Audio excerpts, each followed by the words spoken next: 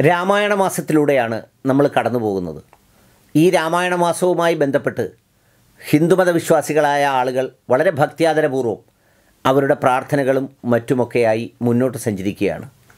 രാമായണ കഥ ഭാരതീയ സംസ്കൃതിയുടെ ഭാഗമായിരിക്കുന്നതിനൊപ്പം തന്നെ അത് ലോക സംസ്കൃതിയുടെ ഭാഗമാണെന്ന് വളരെ വിവേകത്തോടെ നാം അന്വേഷിച്ചാൽ മനസ്സിലാവുന്നതാണ്. കാരണം ഓരോ രാജ്യത്തും രാമായണവും അതുമായി ബന്ധപ്പെട്ട കഥകളും വ്യത്യസ്ത രീതിയിൽ അവിടുത്തെ പ്രാദേശികത്വവും വിശ്വാസവും സാംസ്കാരികതയുടെയും ഒക്കെ അടിസ്ഥാനത്തിൽ വ്യത്യസ്തമായ രീതികളിൽ രചിക്കപ്പെട്ടിട്ടുണ്ട്. രാമായണം ഇന്ത്യയുടെ മാത്രം സ്വത്തല്ല പശ്ചിമേഷ്യൻ രാജ്യങ്ങളിലും രാമായണ കഥകളുണ്ട്. ഏതാണ് ശ്രേഷ്ഠമായതെന്ന് ചോദിച്ചാൽ എല്ലാം ഓരോന്നുകൊണ്ടും വ്യത്യസ്തമാണ്. അതത് നാടിന്റെ പാരമ്പര്യവും സാഹിത്യ സംസ്കാരങ്ങളുമായി ചേർന്ന് നിൽക്കുന്നു ഈ ഓരോന്നും എന്നുള്ളതാണ് അതിന്റെ പ്രത്യേകത. നമ്മുടെ വൈവിധ്യമാർന്ന കഥാകഥന പാരമ്പര്യത്തെ മറച്ചുവെച്ചതും സവർണബോധത്തിൽ മാത്രമായി ഒരു ഇതിഹാസ രചനയെ തളച്ചിട്ടതും മറ്റ് ചില രാമായണ കഥകളിൽ നമുക്ക് പരിചയപ്പെടാനാവും. ബുദ്ധ പാരമ്പര്യത്തിലെ രാമായണ കഥ രാമായണത്തിന്റെ ബൗദ്ധ ആഖ്യാനമായ ദശരഥ ജാതകത്തിൽ ദശരഥൻ ആദ്യം കാശിയിലെയും പിന്നെ അയോധ്യയിലെയും രാജാവായിരുന്നു.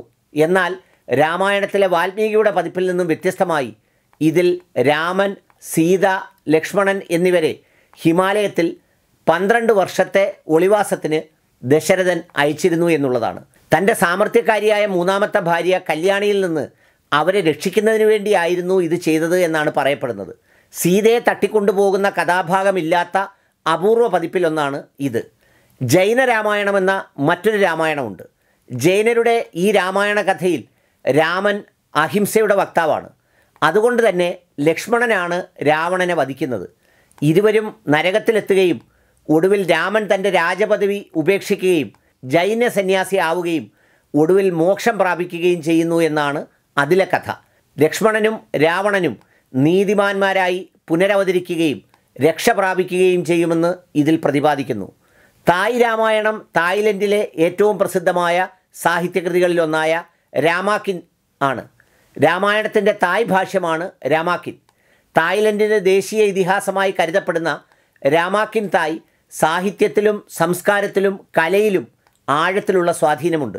സീതയുടെ ജനനത്തെ സംബന്ധിച്ച് തായോൻ രാമായണം രാമാക്കിൻ ഒരു രസകരമായ കഥ നൽകുന്നു. ദശരഥൻ നടത്തിയ പുത്രകാമേഷ്ടിയിലുണ്ടായ ദിവ്യ ആഹാരത്തിന്റെ ഗന്ധം മണ്ടോദരിയുടെ അടുത്തുമെത്തുന്നു.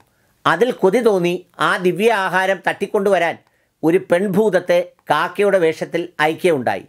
തട്ടിക്കൊണ്ടുവന്ന ആ ആഹാരം അല്പം കഴിച്ചപ്പോൾ മണ്ടോദരി ഗർഭിണിയായി. അങ്ങനെയാണ് സീതയുണ്ടാവുന്നത്. വാൽമീകി രാമായണത്തിൽ പ്രതിപാദിച്ച കഥകൾ മിക്കവയെങ്കിലും ഹനുമാനാണ് പലതിലും വീരപുരുഷൻ. മലായി രാമായണം രാമായണത്തിന്റെ മലയ് ഭാഷയായ ഹൈക്കായാത് സെരിരാമ എന്ന രാമായണ കഥയാണ്. ലക്ഷ്മണനെ ഒരു വീരപുരുഷനായിട്ടാണ് ഇതിൽ അവതരിപ്പിക്കുന്നത്.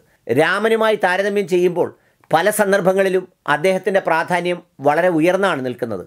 മലൈ സാഹിത്യത്തിൽ തന്നെ ലക്ഷ്മണന്റെ ധീരതയെ പ്രശംസിച്ചുകൊണ്ട് നിരവധി സാഹിത്യങ്ങൾ ഉണ്ടായിട്ടുണ്ട്. ബർമീസ് രാമായണം രാമായണത്തിന്റെ ബർമീസ് രൂപമായ യാമസദ്ദ ആണ്. മ്യാൻമാറിലെ അനൗദ്യോഗിക ദേശീയ ഇതിഹാസമായിട്ടാണ് ഇതറിയപ്പെടുന്നത്. കഥയും കഥാപാത്രങ്ങളും അവരുടെ സ്വഭാവ സവിശേഷതകളും വാൽമീകി രാമായണവുമായി ഏതാണ്ട് ഒരുപോലെയാണെങ്കിലും പേരുകൾ സംസ്കൃത നാമങ്ങളുടെ ബർമീസ് ലിപ്യാന്തരങ്ങളായിട്ടാണ് രേഖപ്പെടുത്തിയിട്ടുള്ളത്. ഇങ്ങനെ ഓരോ രാജ്യത്തും വ്യത്യസ്തമായ രൂപത്തിൽ രാമായണത്തിന്റെ വ്യത്യസ്തമായ ഭാഷ്യങ്ങൾ നമുക്ക് കാണാൻ കഴിയും.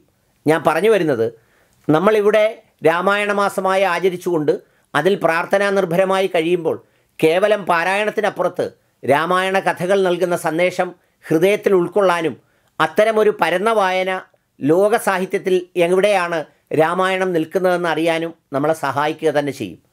അതുകൊണ്ട് ഇത് ശ്രദ്ധയിൽപ്പെടുത്തിയെന്ന് മാത്രം.